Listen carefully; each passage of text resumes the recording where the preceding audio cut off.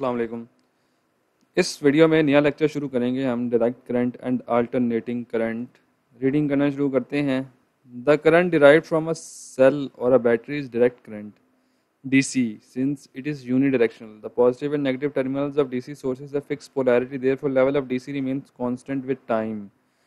वो कहता है कि एक बैटरी से जो हम वोल्टेज जनरेट करते हैं वो डायरेक्ट करंट होता है डायरेक्ट करंट की बेसिक डेफिनेशन ये है कि पॉजिटिव और नेगेटिव के बीच एक फिक्स्ड वैल्यू का डिफरेंस होता है एक फिक्स पोटेंशियल डिफरेंस का डिफरेंस होता है ठीक है मतलब कि अगर ऊपर नाइन वोल्ट है और दूसरी साइड पर ज़ीरो वोल्ट है तो थ्रू आउट नाइन वोल्ट ही रहेगा डिफरेंस पोटेंशियल डिफरेंस ठीक है On the contrary, there is a current which changes its polarity again and again. Such a current that changes direction after equal intervals of time is called alternating or AC. This type of current is produced by AC generators. वो कहते हैं कि जो एक fixed value के अलावा एक ऐसा भी करंट की फॉर्म है, जो कि एक फिक्स्ड इंटरवल ऑफ़ टाइम के बाद रिपीट होता है।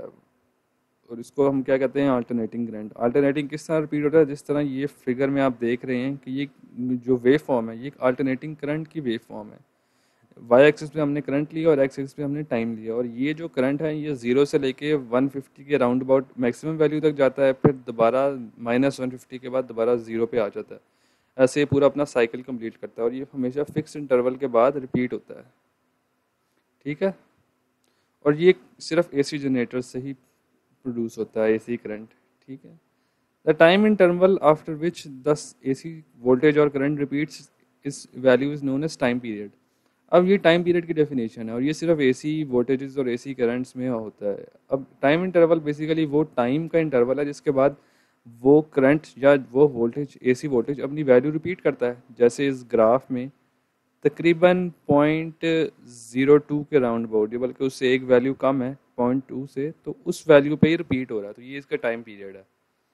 The change in the value of voltage and current corresponds to the frequency of the source अब वो कहते हैं कि जो वैल्यू में चेंज आ रहा है, ये टाइम पीरियड जो है, वो किस पे डिपेंड करता है? वो सोर्स की फ्रीक्वेंसी पे डिपेंड करता है। और एसी करंट या एसी वोल्टेज की सोर्स में आमतौर पर सोर्स एसी जनरेटर होता है। इन पाकिस्तान अल्टरनेटिंग करंट और ऑसिलेट्स 50 टाइम्स एवरी सेकंड वो कहता है कि पाकिस्तान के अंदर अल्टरनेटिंग जो करंट जो है, वो 50 टाइम्स पर सेकंड ऑसिलेट करता है। मतलब एक सेकंड के अंदर 50 50 साइकिल्स गुजरती हैं एसी करंट की।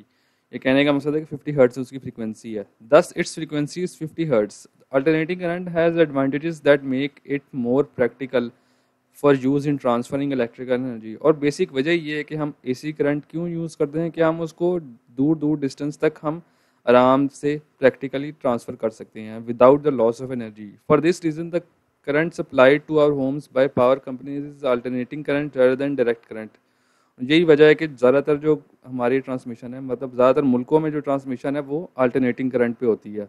ठीक है? लेकिन जो हम घर में हमारे इलेक्ट्रॉनिक डिवाइसेज हैं, वो डीसी पर ही चलते हैं, ठीक है? Supply to house the electric power enters our house through three wires कहते हैं कि हमारे घरों में तीन वायर्स आती हैं,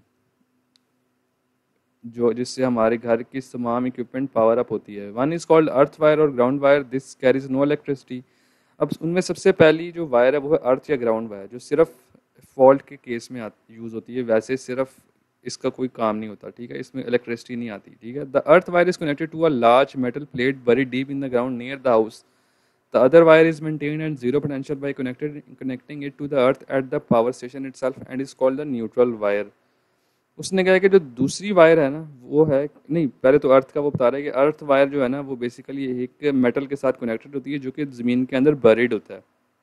उसके अलावा जो दूसरी वायर है, वो क्या है? ज़ीरो पोटेंशियल पे जो यूज़ होती है, वो है हमारी न्यूट्रल वायर ठीक है? जो कि, जो पावर स्टेशन है, वहाँ से ही न्यूट्रल होकर आती है, ठीक है? वहाँ पे मतलब ज़मीन के कनेक्टेड होती है और वहाँ से सारा करंट पास होने के बाद वहाँ पर ज़मीन में चले जाता है, ठीक है? The this wire provides the return path for the current अब ये जो वायर है, ये क्या करता है? रिटर्न पाथ प्रोवाइड करता है कि हमारे इक्विपमेंट से होने के बाद करंट जो है, वो ज़मीन के अंदर चले जाता है, वापस वहाँ पर, ठीक है? अच्छा लेकिन जो सबसे इंपॉर्टेंट वायर है, वो कौन सी है? वो लाइव वायर है, जिससे करंट आता है हमारे यहाँ तक, ठीक है? और जो अर्थ वायर है वो सिर्फ़ फॉल्ट के केस में यूज़ होती है, जब कोई फॉल्ट आ जाती है इक्विपमेंट में या किसी और चीज़ में। The third wire is at high potential and is called live wire the potential difference between the live wire and the neutral wire is 220 volt वो कहता है कि लाइव वायर और न्यूट्रल वायर में जो पोटेंशियल डिफरेंस है वो 220 volt होता है और ये हाई पोटेंशियल पे होता है, ठीक है? Our body is a good conductor of electricity through which current can easily pass therefore it is if a person holds live wire current will start flowing to the ground while passing through the body which makes, which may prove fatal for the person. All electrical appliances are connected across the neutral and live wires. कहता है कि हमारी body अगर live wire को touch कर जाए तो वो करंट उसको लग जाएगा। उसके अलावा जितने भी हमारी अप्लाइंसेज हैं, वो उनके दो टर्मिनल्स होते हैं। आपने देखा होगा हर सॉकेट के दो टर्मिनल्स होते हैं। एक जो टर्मिनल होता है, वो लाइव वायर के साथ कनेक्टेड होता है जो दूसरा टर्मिनल होता है, वो न्यूट्रल वायर के साथ कनेक्टेड होता है। The same potential difference is there for apply to all of them and hence they are connected in parallel to the power source और ये हमने रजिस्टर्स की पैरेलल कॉम्बिनेशन में भी पढ़ा था कि जितने भी इक्विपमेंट है वो पैरेलल में कनेक्टेड होता है और वो सेम सोर्स से पावर अप हो रहा होता है। ठीक है?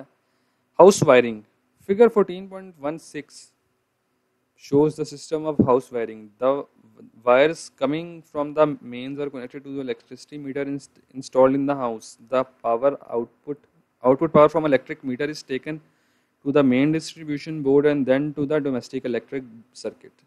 वो कहता है कि जो हमारे घर में जो वायर्स है ना मेन इलेक्ट्रिकल वायर्स वो सबसे पहले कहाँ जाती हैं? इलेक्ट्रिक मीटर के अंदर। इलेक्ट्रिक मीटर के अंदर जाती है? वहाँ से उस होने के बाद वो हमारी मेन डिस्ट्रीब्यूशन बोर्ड में जाती हैं और उसके बाद हमारी डोमेस्टिक इलेक्ट्रिक सर्किट मतलब डोमेस्टिक इलेक्ट्रिक सर्किट मतलब हमारे घर का, अंदर का सर्किट के जहाँ से पंखे और सारे सब कुछ चल जाता है, लाइटें चल जाती हैं। The main box contains fuse of rating about तीस एम्पेयर अब जो मेन हमारा डिस्ट्रीब्यूशन बोर्ड है, उसके अंदर एक तीस एम्पेयर की रेटिंग का फ्यूज होता है।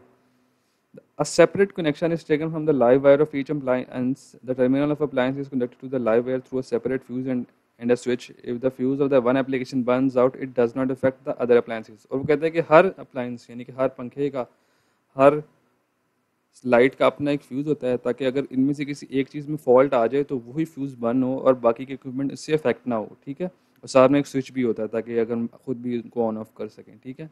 ये इसकी सर्किट डायग्राम है, या स्कीमेटिक डायग्राम है, जो आप देख सकते हैं कि बाहर से जो आ रही है लाइव और न्यूट्रल वायर आ रही है, अर्थ तो सिर्फ़ ग्राउंडिंग के लिए यूज़ होती है, वो ये है। अच्छा लाइव और न्यूट्रल आ रही है, वो हमारे मीटर के साथ कनेक्टेड है।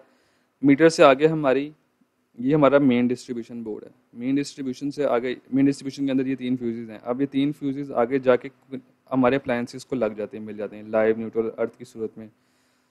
ठीक है? मेन डिस्ट्रीब्यूशन से ही हमारी अर्थ स्टार्ट हो रही है, उसके आगे अर्थ भी सबको मिली जा रही है। ठीक है? ये हमारा सॉकेट आउटलेट है, ये हमारा बल्ब है, ये हमारा और इलेक्ट्रॉनिक डिवाइसेस हैं। इन सबको एक लाइव एक न्यूट्रल और एक अर्थ मिल रही है। ठीक है?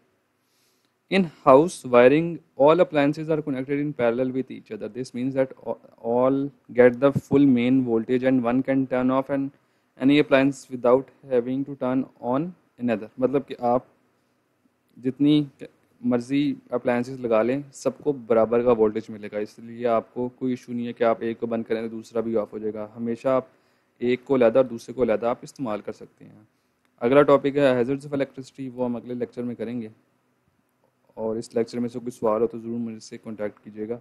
अल्लाह हाफिज़।